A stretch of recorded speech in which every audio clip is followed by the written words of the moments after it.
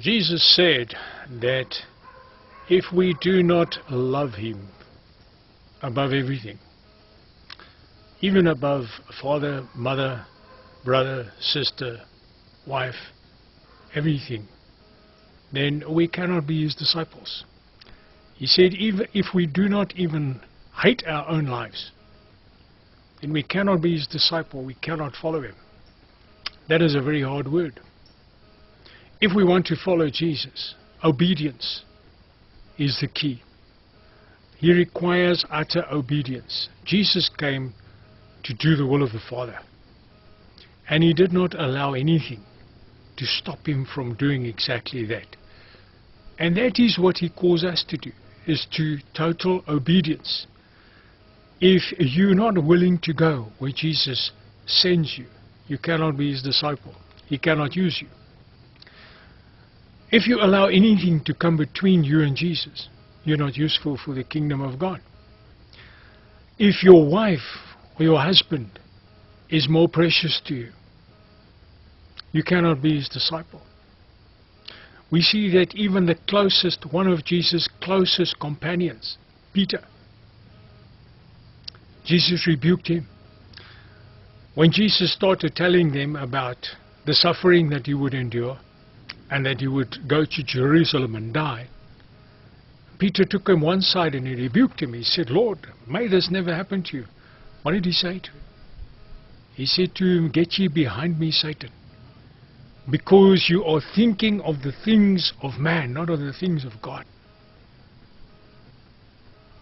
So friends, if we are selfish, and if we are more concerned about the opinion of other people, what other think, others think of us, about our own ambitions, about my wife, my husband, my pastor, my friends, what the world thinks. I cannot be a disciple of Jesus Christ. He said to the Pharisees, He said, You cannot be seeking the glory of Almighty God if you are still so concerned about the glory that you pile on each other, the recognition that you give to each other. My friend, to follow Jesus Christ means to deny yourself, to truly deny yourself, to deny your own ambitions, to obey Him, to follow Him, and to go where He sends you. He gave His life for us so that we can have life eternally. So that we can have life abundantly.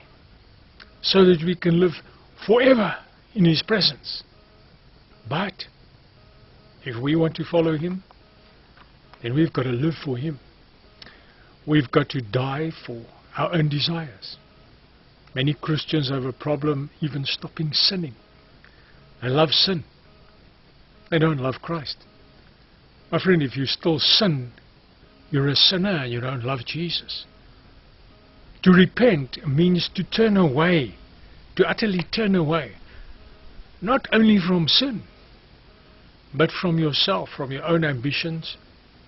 This whole world is directed onto self. People are so uh, concerned with self-realization and the image. If you are a follower of Jesus Christ, those things don't matter. All that matters is the approval of the Master. Is Jesus satisfied with me? People uh, don't want to testify. They say nobody's listening to me. They're rejecting me. They're laughing at me. My friend, if Jesus is in you, they're rejecting him. But are you willing to go with Jesus through rejection? Are you willing to follow Jesus even if your wife rejects you? Or your husband? Who do you love more? Do you love your husband more? Your mother, your father? Or do you love Jesus more? That is why, my friends, you need to know his voice and follow him. You cannot go by assumption. Many people assume things. They open the Bible and whack, I say, well, I've got to go there and I've got to go there. I've got to call him. Are you sure? Did you hear from God? Do you really know His voice? Will you put your life on it? Because when God sends you, people are going to say you're crazy. When Jesus talks to you, people are going to say, no, friend, you need to go to the nut house.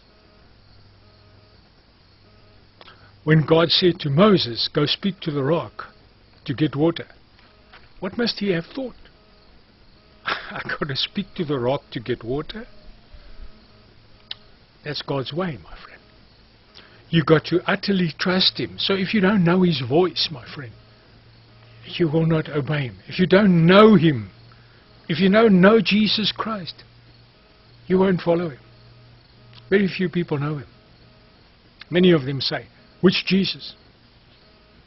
Which Jesus? There's only one Jesus. There's only one God. There's only one Son of God. And if you don't know him, my friend, then you will say, which Jesus? Many of them, Christians, they say to me, which Jesus is speaking to you? How do you know? The just shall live by faith, my friend. And if he withdraws, my soul will have no pleasure in him. That is what God says. If you don't trust Jesus with your life, you cannot follow him. If he is not your life, you cannot follow him, my friend. That is why he says, Whoever wishes to come after me must deny himself, pick up his cross and follow me. You cannot reserve anything for yourself. Some Christians have got a problem with porn. Others have got a problem with other things. That's why they can't get through to God. They never started following Jesus. They love other things more. My friend, if you can't even give up your sin and your lusts and your own desires, are you going to follow Jesus and obey Him? How are you going to decide between Jesus and your wife? Women can manipulate men so easily.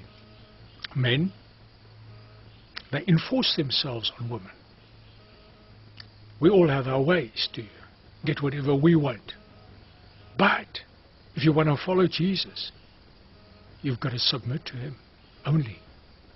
Deny yourself, pick up your cross, and follow Him in spite of rejection of everybody. Even if you go alone, you've got to know Jesus well enough, my friend, to go with Him. A lot of people will say to you, well, it's not written in the Bible. It isn't. Jesus hasn't written in the Bible what He wants to use you for. It's not written in the Bible. That's revelation. You've got to follow him, my friend. His sheep know his voice and they follow him. They're not led by the scriptures. Those who are led by the Spirit of God, they're the sons of God. He didn't send us a map, my friend. He did send us the Holy Spirit to guide us into all truth. And if you don't want to listen to the Holy Spirit, my friend, you're not going to follow Jesus. You're not going to please Him. There's only one way to please Jesus, my friend, and that is to get into that close relationship with Him where you hear His voice, where you listen to Him, and where you utterly trust Him above all things, where He becomes your life, where you are totally surrendered to Him and Him alone. And you don't care what people say. You don't ask their opinion.